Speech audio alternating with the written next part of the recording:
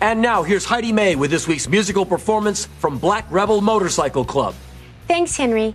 The seed that became Black Rebel Motorcycle Club was planted back in 1995 when Robert Been and Peter Hayes met while attending high school in their hometown of San Francisco.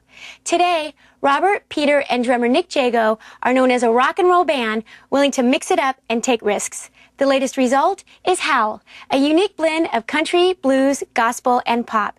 Here to perform Shuffle Your Feet, this is Black Rebel Motorcycle Club Uncut.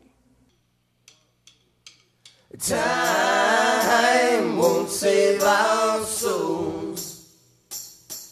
Time won't save our souls.